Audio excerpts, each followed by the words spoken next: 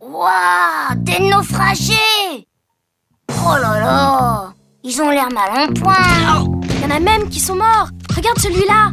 Il a carrément la tête sous l'eau. Le radeau de la méduse de Jéricho. Bah elle est où la méduse? C'est le nom du bateau sur lequel il naviguait. Ils disent qu'il s'est échoué au large de l'Afrique en 1816. Alors c'est une histoire vraie? Oui, et elle a fait scandale à l'époque. Et pourquoi ça? Parce que les naufragés ont été obligés de manger les cadavres pour survivre. Des cannibales J'en avais encore jamais vu en vrai Alors, il y en a qui s'en sont sortis? Oui, grâce à l'Argus, le bateau auquel ils font signe. Un bateau? Où ça? Oh oui, tout là-haut. Il est beaucoup trop loin pour les voir. Exact. La première fois que les naufragés ont aperçu l'Argus, il est passé au large sans les repérer. Oh l'angoisse Des cannibales Heureusement, il est revenu et cette fois-ci, il les a sauvés. Bah qu'est-ce que t'as? T'es tout pâle? Je suis médusée Le radeau de la méduse, musée du Louvre.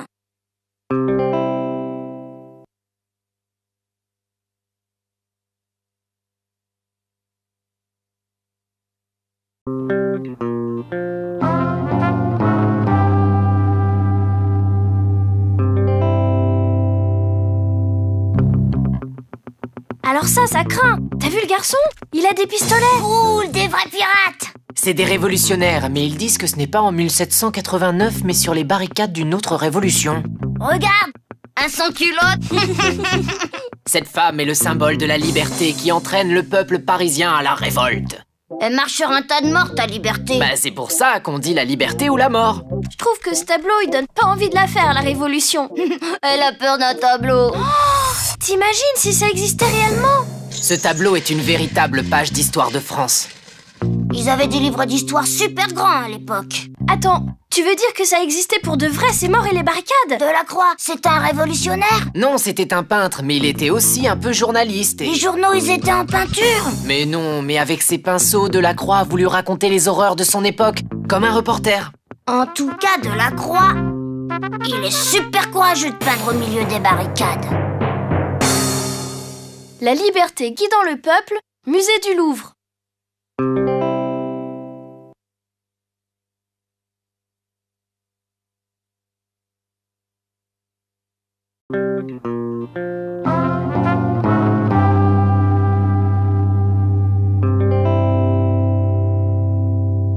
Eh, venez voir Ils font du judo, ceux-là, et je connais Je suis ceinture jaune Mais non, c'est de la lutte bretonne. En plus, c'est marqué. Tu vois bien qu'ils ont pas de kimono.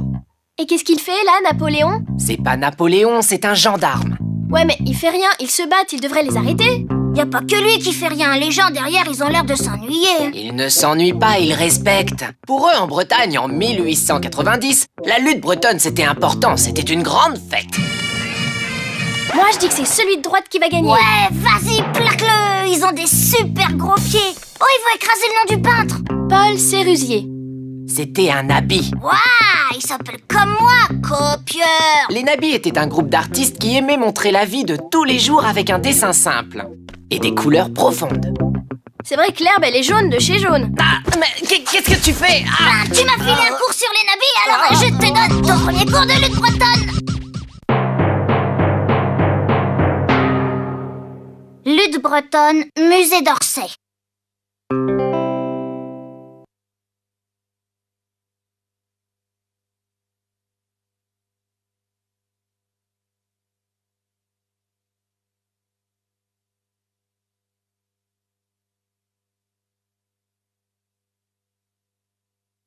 Au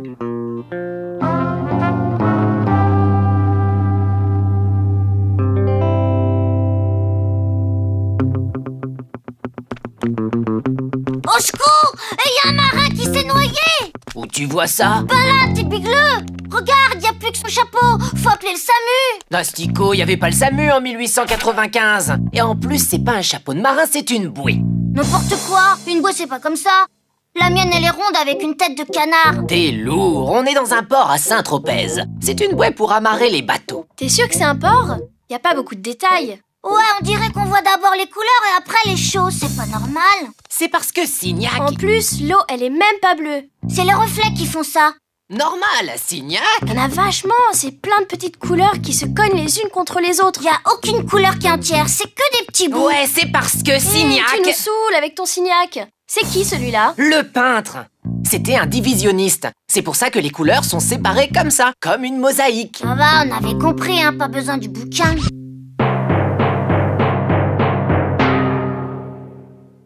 La bouée rouge, musée d'Orsay.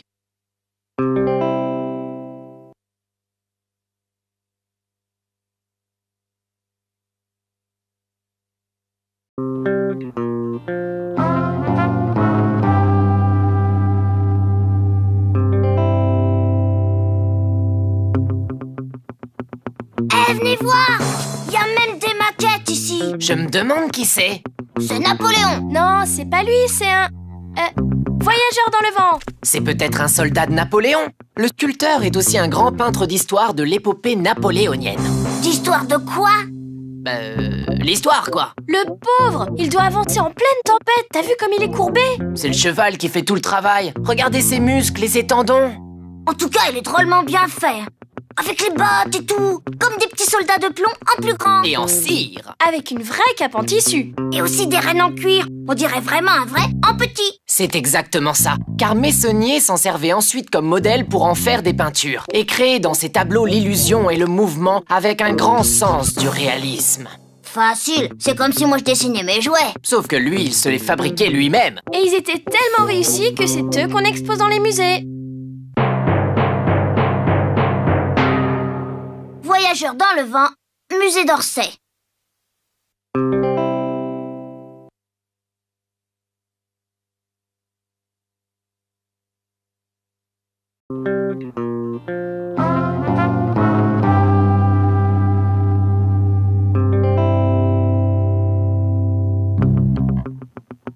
Oh, venez voir la position des jambes. Jeanne Avril dansant. C'est joli comme nom. Qui c'était Attends, c'était une des plus connues des danseuses de French Cancan. Et elle le dansait d'une façon très originale qu'adorait Toulouse-Lautrec. Euh, c'est ça le French Cancan? Non, tu dois mettre la jambe de côté et la faire tourner de plus en plus vite. Comme ça? Ah, ah En plus, ça raille le parquet. Regarde celui du tableau. Mais non, c'est des grands coups de pinceau pour montrer le mouvement. Toulouse-Lautrec dessinait directement dans les boîtes de nuit les filles qui dansaient. C'était pris sur le vif, comme on dit. Je croyais que les boîtes de nuit c'était plein de couleurs. Là, c'est pas très gai, il y a plein de marron. C'est pas du marron, c'est du carton. C'est même pas peint partout. C'est parce qu'il peignait sur tout ce qui lui tombait sous la main. Il adorait peindre les French Cancan et comme il était Il noctambule... ne fallait pas le réveiller. Bah, Ben, il faut pas réveiller un octambule, c'est connu. Somnambule, pas noctambule. Il passait ses nuits dehors à faire la teuf et à regarder les danseuses. Jeanne Avril dansant, musée d'Orsay.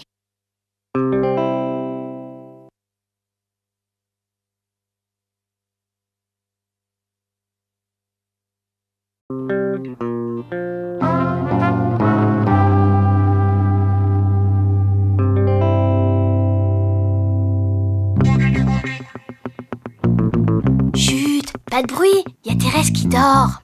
À moins que ce soit Théodora ou Tatiana. Et d'où tu sors ça? Ben, il y a un thé là. C'est pas un thé, c'est une croix sans la quatrième branche. C'est un symbole ancien que les gens accrochaient parce qu'ils croyaient en Dieu. Elle doit mal dormir dans son lit tout plat. D'ailleurs, c'est bizarre, tout est plat ici. Ouais, et c'est les mêmes couleurs en plus. Ouais, en même temps, on voit bien où sont les draps et l'oreiller grâce au trait. Vuillard voulait rendre quelque chose d'apaisant. C'est pour ça que les couleurs se ressemblent et qu'elles sont douces. T'arrives à dire des trucs intéressants sans ton bouquin Ouais, mon guide Alors? Eh bien, euh, voilà, on dirait plus une berceuse euh, qu'un tableau. C'est vrai, c'est calme. Oh, oh, je ferais bien la sieste. Comment il s'appelle ce tableau? Oli Il y a peut-être de la place pour moi. Eh, Qu'est-ce qui vous arrive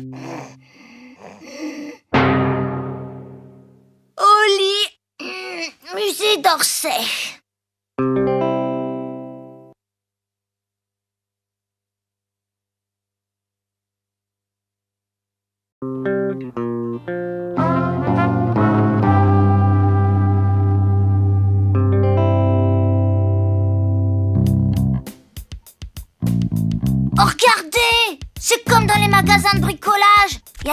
Où on voit les gens refaire leur plancher. Sauf que là, on est en 1875. Ce sont les raboteurs de parquet de Gustave Caillebotte.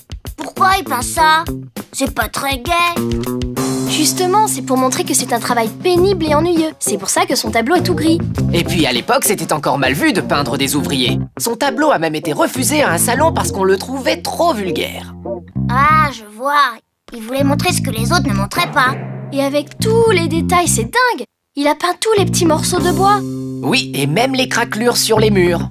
Il a dû s'embêter à copier tout ça. Il a pas tout copié, c'est juste l'impression qu'il veut donner, mais on dirait des vrais. Eh ben moi, ça me donne pas envie de devenir raboteur. On doit avoir mal au dos et les genoux en compote. Il y a plus de raboteurs aujourd'hui, il y a des ponceuses, tu sais. Des ponceuses? Heureusement que je suis un garçon alors, parce que je voudrais pas devenir ponceuse. Raboteur de parquet, musée d'Orsay.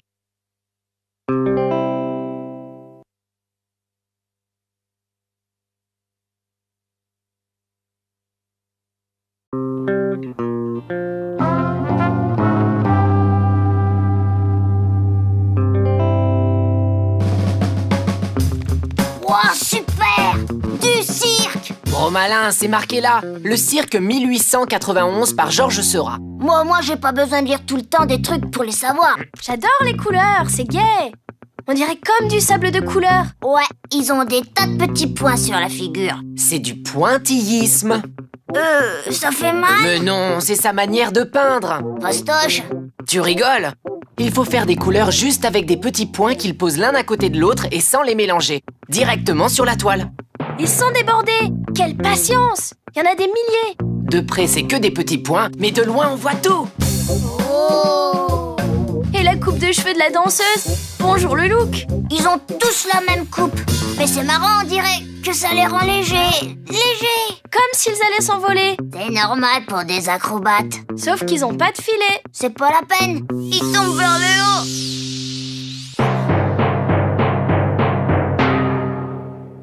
Le cirque, musée d'Orsay.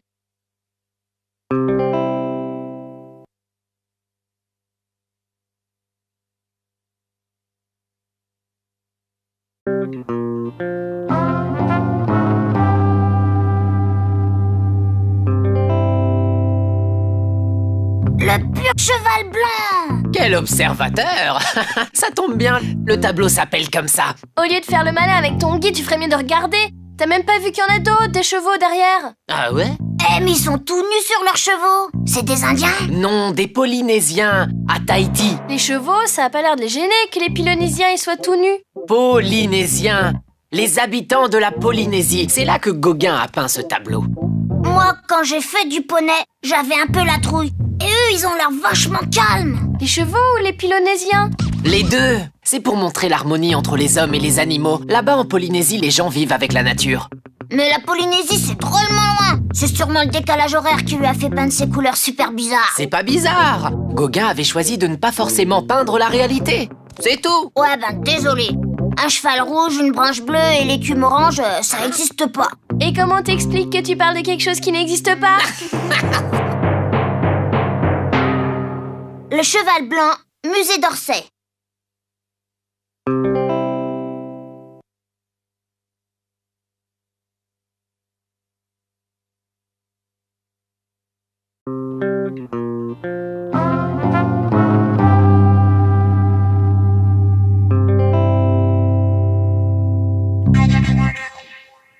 y a Batman à table, avec sa famille, là. Patate C'est la silhouette du peintre, Félix Vallotton. Eh ben, on risque pas de le reconnaître. Ouais, c'est rien qu'une ombre, ça fait peur. Il fait comme le tableau, il observe sa famille un peu comme un étranger. Quand il l'a peint, il venait de se marier. Alors ça lui paraît encore un peu bizarre. Elles ont de drôles de vêtements.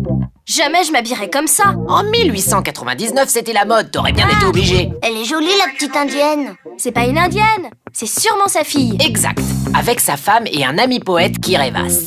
Il se tient mal, super mal, le poète. Moi, à la maison, j'ai pas le droit de mettre les coudes sur la table. Heureusement que c'est pas éclairé comme ça à la cantoche, on n'y verrait rien. Pourquoi c'est tout noir autour? C'est un dîner, c'est le soir quoi. Il a peint ce qui l'intéressait, seulement ce que la lampe éclairait. C'est bizarre. C'est pas gay, mais c'est beau. L'inverse de toi, quoi. Ah, très drôle. Le dîner, effet de lampe, musée d'Orsay.